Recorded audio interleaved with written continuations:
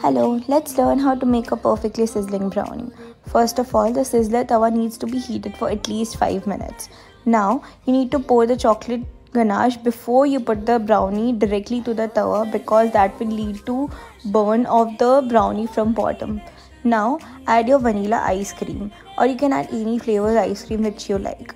Now, you need to pour the chocolate ganache as shown but remember the chocolate ganache should be in the consistency as shown because this is the perfect consistency for the sizzling brownie. Here you go. Enjoy